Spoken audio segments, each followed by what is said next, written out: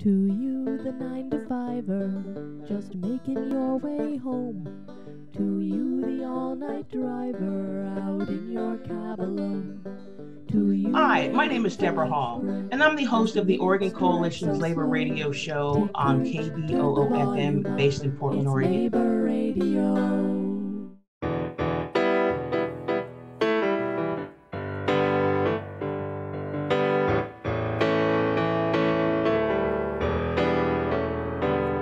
You better listen, my brother, cause if you do, you can hear their voices still calling from across the years. And they're crying across the ocean, they're crying across the land. Dear friends, welcome to the Labor Radio Podcast Network series highlighting the work of our members. The growing network of over 80 shows in five countries serves as a one stop shop for audiences looking for labor content and as a resource for labor broadcasters, podcasters, and content producers. My name is Evan Papp, and I produce Empathy Media Lab's podcast on labor, political economy, arts, and culture, and we're a proud member of the Labor Radio Podcast Network. Today, I'm speaking with Deborah Hall, who is the host of Oregon Coalition of Black Trade Unionists on Labor Radio KBOO FM in Portland, Oregon. Deborah, so nice to see you. Uh, could we begin with the question of uh, talking a little bit about yourself, where you grew up, and what led you to organize labor? Absolutely, Evan, and thank you. Glad to be here. And so I grew up in, in Portland, Oregon, um, in the um, born in, in the 50s, grew up in Portland in the 60s, um, 70s, started my activism early, um, probably in the early 60s. And the section of town that we lived in was basically the area of town that they said where the hippies lived. And so there was a lot of lot of political activity. And what I would do, Evan, is there was a, a school ballot measure. I was in second grade. I'll never forget it. There was a school ballot measure. And so we were concerned, you know, because we're going to school and you hear like your parents talking about, oh my God, you know, funding for schools, whatever. So what I did was I gathered some of my schoolmates. We went out to the homes um, around the school and asked them, could we use their yard signs? Took the signs, marched the kids around the playground. We got on the news, we got them in the newspapers and that kind of got me started with you know getting involved in community um, activities. How my mom raised us is you know instead of complaining there's a lot of work to do. And so you know why don't you put your mouth where your complaints are and get to work and try to make some of these issues better. And it, it seemed you know kind of a natural migration to um, labor because as a person of color, I mean, as a woman, I was finding not having, you know, kind of a um, educational background, it was difficult for me to get, you know, decent jobs. And I kind of moved into the labor sphere, found that there was a voice there, there was power there for people like me, and a way to have a good life and to provide that for my community and for other folks. And so I've been sold since day one. Absolutely the way to go. So some people aren't as conscious and uh, don't learn those lessons so early in life and may not be interested in labor or labor media and labor news. So, why do you think unions and organized labor are important and, and should be covered on in the media? Like I stated earlier, you know, for for those of us that have, I don't have my education. I have a have a high school education, a high school diploma. I've taken some college classes and having a union job, I, I had some pretty decent jobs in the private sector, but they did not afford me any security. You know, my pay was decent, but I, did I have a good retirement? Did I have good benefits? Did I have someone fighting for me on the job? And was I able to also lend my voice and have an effect on what was going to happen to me in that workplace? As a person of color, that meant everything because, you know, outside of our homes, we don't have control over much. And the union gives us that you know your, your, sense of pride you know the dignity. Also for the job that we do there's a lot of pride there. And so i think that you know folks it's if you're I'm a working person you know it's a way to get control of yourself and your life and have a say in what happens in your workplace and on the job. And what unions have you been a part of over the years my very first union, I started working for Safeway. And so I was um, retail clerks, which is now UFCW, and that was in the late 70s. And then my union, um, um, American Federation of Teachers, uh, was a member for 20, I'm a retiree now. I, I just retired last year, but a 22 year member of the American Federation of Teachers. Great. And can you, could you talk a bit about your show and why you wanted to start it and what it's about? Oh, absolutely, absolutely. And so our show, we are in our our first show was Labor Day of uh, 2013. And we were very excited to get the show because as a as a black organization, the Oregon Coalition of Black Trade Unionists, we also were excited to have the opportunity to have that outreach, to be able to come into the studio once a month and have this radio show to talk about, you know, to bring u- union members on to um, address not only issues for black union members, but for all union members. We, we talk about local issues, we talk about national issues, we talk about international issues. And so we've been able to have local folks on. We had um, a young man who was the president of the, what is it, the Afro-Cuban dock workers. He, he was on our show um, a couple years ago. We had some folks from Nigeria um, on our show when they were having issues with their girls getting kidnapped.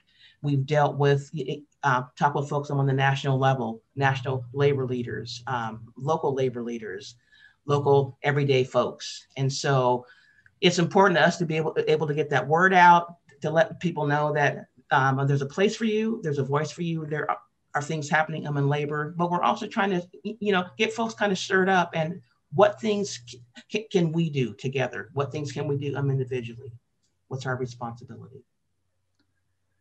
So talking a little bit about like the class and race issue, I guess, and obviously um, you could talk about this all day uh, and how they're they're interconnected. And I, I guess from um, you know looking from an outsider looking in, you know, oftentimes there's just this focus on like the white working class and things like that.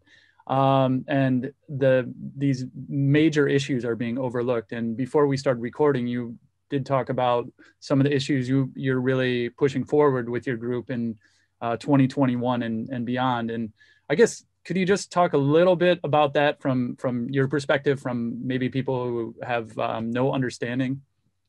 Certainly, certainly. So some of the issues that my organization we're looking um, at, and we're trying to keep Black Lives Matter in the forefront. We get some pushback for that, and I get pushback. You know, people say all lives matter, blue lives matter, and we're not negating anyone's life, but but I don't think anyone can deny.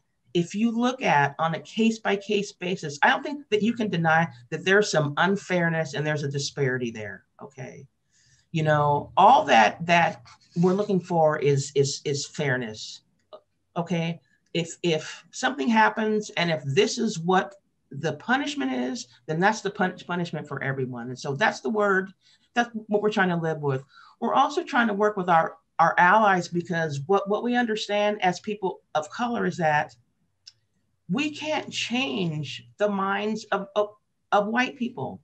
You know, folks have got to come to their, their understandings and their um, agreements to themselves. What we can do is spend time together. And we try to do that as our union, we're not only a black organization, we we um, want everyone to get involved. Everyone who's involved in a labor union can certainly be, be, be um, a part of our organization. And we want them every voice because if we even stay segregated there in our unions, nothing will um, ever change. And so everything that we're trying to do is to try to put, you know, Black Lives Matter I'm at the forefront, regardless if it's healthcare issues, if it's housing housing issues, if it's education issues, because all of those things, you know, matter.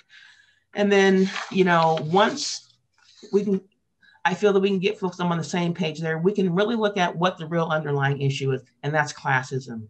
Because the folks that are in charge, they don't want any of us to have anything. Okay. And if they can start with one group and get us to continue to to section each other off, we're all done for. You know, if we're all all not fighting for each other because if I have bad water, you have bad water too. Everyone in the community suffers, and so why why don't we get together and fight for what our needs are in this community? You know, so that um our kids have something, and so that's what we're pushing for is for that continuity, for that voice, you know, to to bring folks in and to have them get involved with us because again, if you're involved with people um, on a personal level, you're going to stand up and you're going to fight for them as your friends, I mean, your family, not some stranger that, oh, yeah, I work with that person or they're in my union, but I don't know much about them. We have to start galvanizing them ourselves as family again. And I think that we won't um, allow anyone to push us around or to be, you know, be mean to us or to treat us wrong if that happens. So, as a member of the Labor Radio Podcast Network, how did you hear about it? And how did you kind of like join i guess because we're always looking to expand the the number of members and and the not only in the united states but outside as well and why do you think a network like this could is, is important how i heard about the network is i had been getting the emails for them a while but i believe it was you and chris who reached out to tina um, turner morford who was our president for oregon coalition of trade unionists to um, do those um, uh, where they the live streams on um, uh, um, Facebook, excuse me. And so after we start doing the show, the outreach is incredible. And the voice of labor is is not just labor centered. We're we're also community members, and the things that are talked about on these shows are, are things that do affect every person all over the world, you know. I think that because we don't get really major time on on major networks, not even networks that are friendly to us. This is um, uh, critical. It's it's a way that we can become in control of our word, you know, and to make sure that it's our voice, that it's not being, you know, filtered through through someone else's filters and being dumbed down or being added to or subtracted from. It, it's critical, and I think that uh, more folks should look to get involved. And it's a lot of fun too, you guys, being able to produce your own show and to get get your point of view out there the way that, that you want it stated. It's awesome and it's very powerful. So, what advice would you give to people who maybe are thinking about starting a show and are a little scared? Because it, what was your process in, in developing the, the show that you have? We just um, um, got the opportunity. You know, um, I believe the gentleman Jamie Partridge called us. He said that they had a spot open. Um, um, our labor radio show is a um, cable host hosted weekly. We do the first Monday of each month. And so we were provided that opportunity. We looked at it as as that um, as, op, as opportunity to get our our voice out to the world. And we jumped on it. And then we thought about, you know what? We don't know what we're doing, but we'll figure it out because we're on the radio. We have a voice and we have airwaves and we have folks that, you know, I've had friends of mine that are, you know, have been in in Pennsylvania and driving down whatever and turn on the radio. Hey, I just heard Deborah Hall on the da da da da da. You know, and so that's um, cool in, in itself. But the fact that, that my friend in Pennsylvania could hear what we were talking about labor wise in Portland, Oregon, blew me away. So if you folks are thinking about it, go for it. Just go for it. You'll you'll figure it out. You'll work it out. And there's a network here to support you, and they do a really good job. So I wouldn't hesitate. So in closing, looking into the future of organized labor, where do you see opportunity and hope? You know, Matthew, I see opportunity everywhere, um, everywhere. Um, I think we need to get back to talking to each other. And I feel that even during this pandemic, that this medium here, Zoom, has has there's a face to talking. You know, we got into texting and email. Um, if this is what um, it's going to be, um, we have have a huge advantage because no one has an issue with getting on Facebook and doing their live streaming. So one step up for the show, you know, it's just one step up up to do the show. I, I'm extremely hopeful, and the reason I'm hopeful is that young people are are are hopeful and they're giving me hope um, as an older person you know i can look back on all the things that have happened in my 60 plus years you know but what gives me hope is that those young people they're promising me that they're going to keep fighting and they're going to keep holding that torch and they're going to move forward. And I feel that it's up to folks like me who have been around a while, you know, t- to try to open those doors for us to work our inside game, you know, because we're, we're I'm in place to do that. But I'm I'm very hopeful. I'm extremely hopeful. You know, that's all I have right now is hope.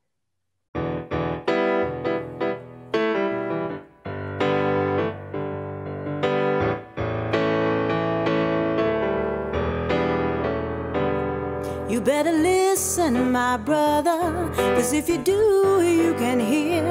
Their voices still calling from across the years. And they're crying across the ocean, they're crying across the land, and they will until we all come to understand. None of us are free, none of us are free, none of us are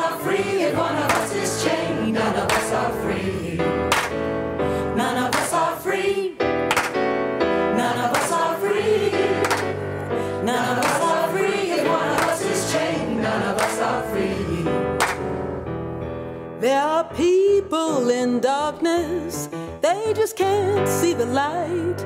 If we don't say it's wrong, then that says it's right. We got to feel for each other. Let our brothers know we're here. Got to get the message, send it out all loud and clear. None of us are free. None of us are free.